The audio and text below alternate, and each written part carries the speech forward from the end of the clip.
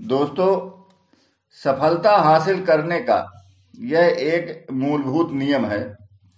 हम इसे अपने दिमाग में बिठा लें और इसे हमेशा याद रखें।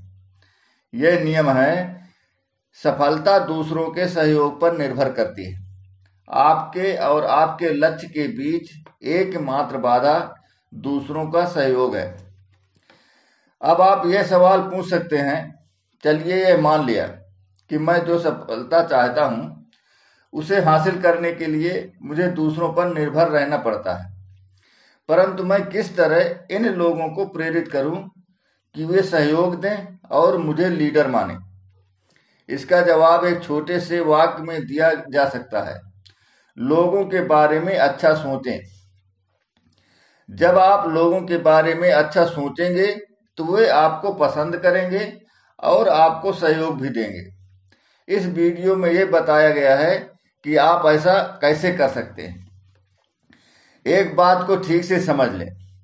किसी आदमी को ऊपर की तरफ़ खींचा नहीं जाता। इसके बजाय उसे बस सहारा दिया जाता है।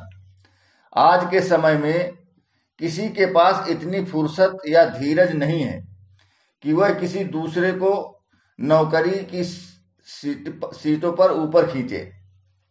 किसी व्यक्ति को इसलिए चुना जाता है क्योंकि वह बाकी सभी लोगों से ऊँचा नज़र आता है।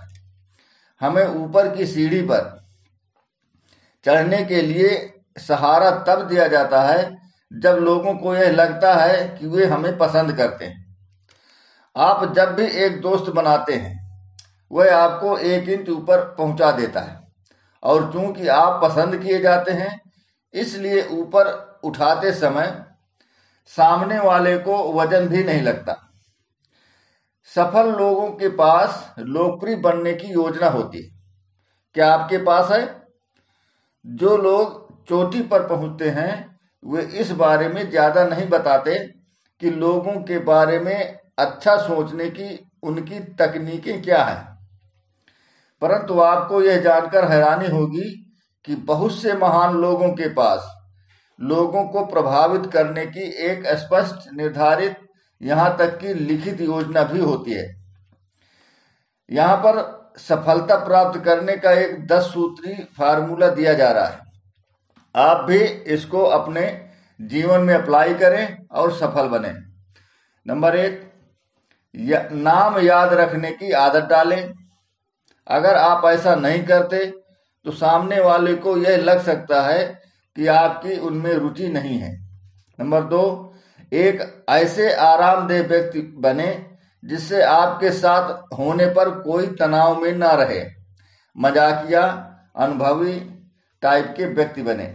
नंबर तीन, अपने दिमाग को ठंडा रखने की आदत डालें ताकि कठिन परिस्थितियाँ आपको उत्तेजित या परेशान ना करें। नंबर चार बड़ बोले ना बने। सामने वाले को यह एहसास ना होने दें कि आप खुद को सर्वज्ञानी समझते हैं।